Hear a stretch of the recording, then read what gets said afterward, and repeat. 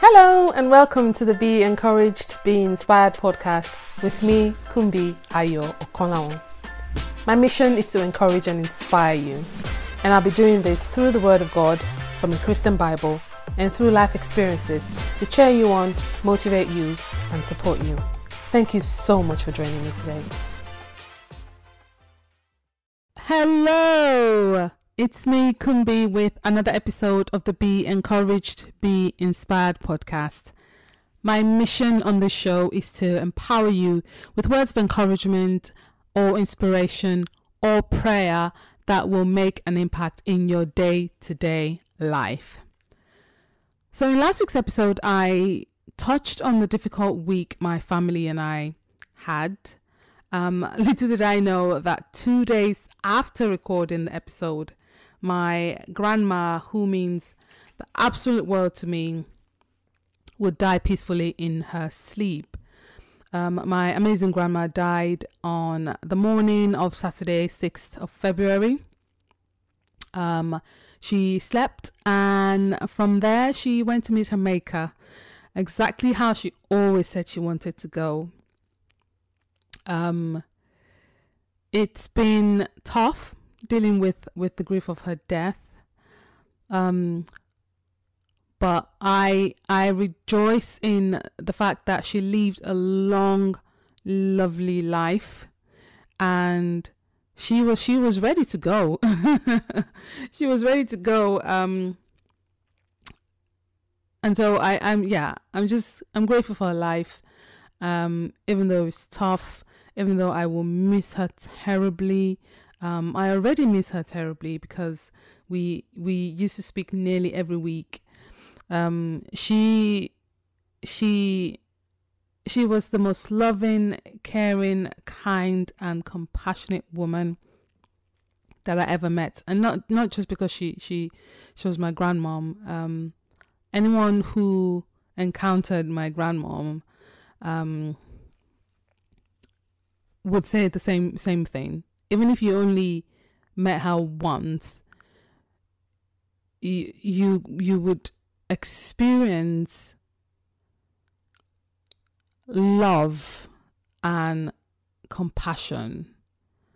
Um, she had a passion for doing good. It was just something that she just did without thinking about it. Um, it just it it it was her. That that that's essentially how I can put it. Um, and she loved with all of her heart.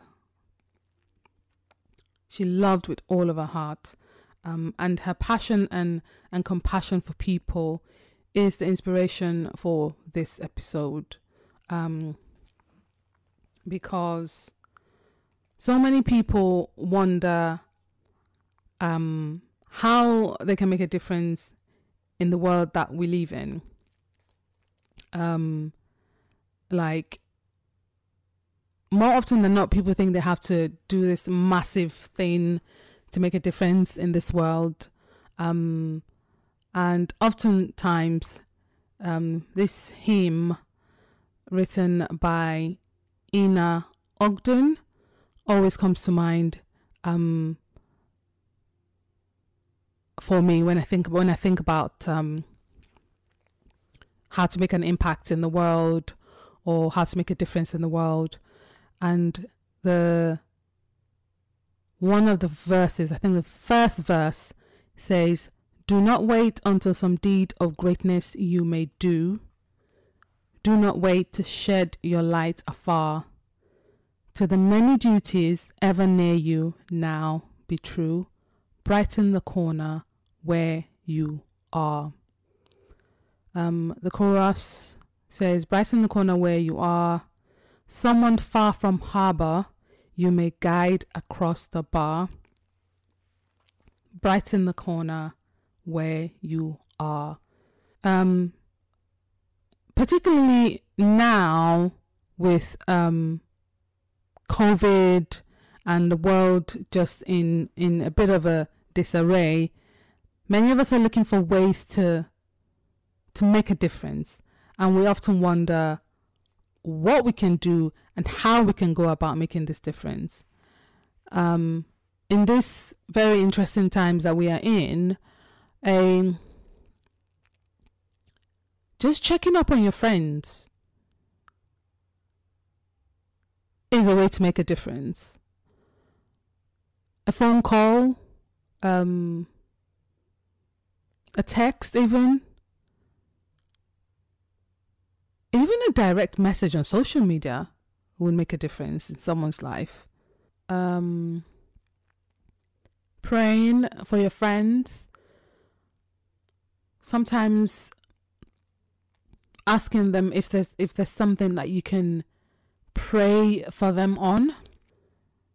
And you will often find that you checking up on them, especially in this time time that we're living in, you checking up on them might be exactly what they need at that point in time that you checked on them. Just to say, oh, I just thought about you. I'm just checking on you to see how you're doing, how you coping. Um, I read um, somewhere on social media about a lady who um, just decided to to bake for to, to make some food, pardon me, for her neighbor. And she she she went and dropped it off and this neighbor just broke down into tears because she had just been rifling through her cupboards just trying to find something that her and her children would eat. And she was just thinking oh my goodness how are we going to eat and just like that food came and so we don't necessarily need to do something that maybe we think is just huge that would, you know, reverberate across the world. Just checking on someone or making a meal for someone is something that can reverberate in that person's life at that specific time. And that in itself is more than enough, much more that you could ever imagine.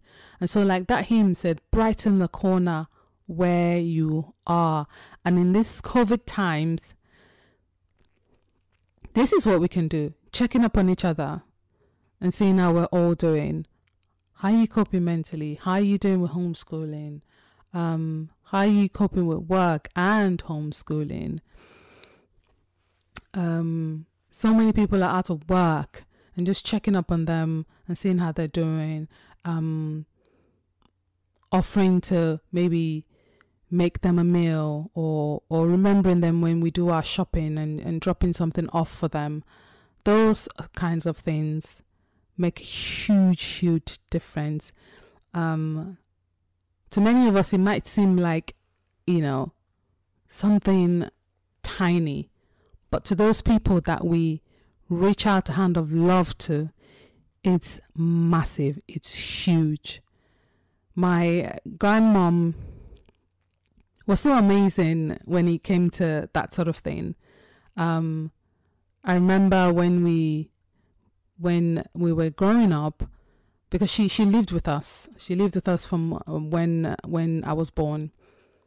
Um, and so when I was 11, I think, we moved to a new area and it was a developing area. So uh, there was a lot of land around the place. And we used to have these nomads um, that would find a piece of land, um, build sort of like a, a wooden house or something, um, and live there until maybe the owner of the land um, would come and, and chase them away. So we had such nomads near, nearby, and my grandma made friends with them. They, they didn't speak the same language. My grandma didn't speak English. They didn't really speak a word of English. It was different languages, but she somehow made friends with them.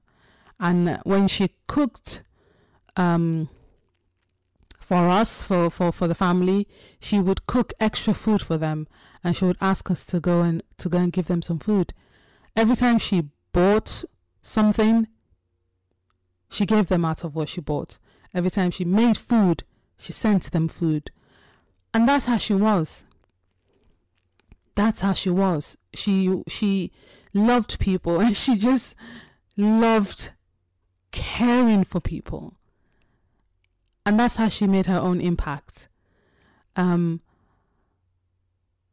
and it was just such a beautiful thing to watch and to just see her be like that, to see her be so caring.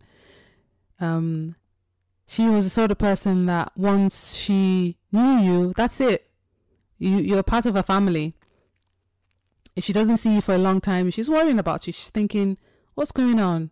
Um, I mean, friends, friends of mine that I I introduced to her in the past, she would ask after them. Um, and when I moved away from home, all she had to do was just hear about one friend, and that's it. Doesn't know what they look like. um, but she starts asking after them, Oh, how's your friend? She's fine, Grandma. How's that your other friend? He's fine, Grandma. I hope you're still friends. She had this thing about people not um quarreling. So she would ask you, Hope you're still friends. Hope you're not quarreling. She would tell you to smile, smile. Always keep a smile on your face. Um, don't quarrel with people. Be at peace with people. And if you quarrel with people, make up with them and just be at peace with people. Be at peace with people. And that's an amazing legacy um, that I pray that um, I will carry on and I, that I will always, always remember. And so I want to encourage you today. I want to encourage you to brighten the corner where you are. Don't think that that little gesture um, that you that you make towards someone is um, is little or too little or too small or too tiny. Trust me, it makes a huge, huge, huge difference. And when all of this COVID craziness is over, when lockdown is over, when things get back to to as normal as they can get, continue to brighten the corner. A smile here to someone, a compliment there, um, helping someone struggling with, you know, with their luggage or with their groceries, giving a helping hand to a neighbor, um, volunteering in your local community center, working with youth in your community, just being there for people. Um, checking on someone and asking them, How are you? I mean, really, how are you? Um, all of these things make a huge, huge difference, and they can create a domino effect that can be far, far reaching than we can ever realize. Um, so, if you're wondering what you can do to make a difference in our world, um, yeah, consider brightening the corner where you are. Yeah, in the corner where you are. I hope you have been blessed by this episode. Thank you so much for listening. Um, I will catch you in the next episode. God bless. Bye. Thank you for joining me for this episode of Be Encouraged, Be Inspired. Be sure to subscribe in your favorite podcast app so you don't miss the next episode. God bless.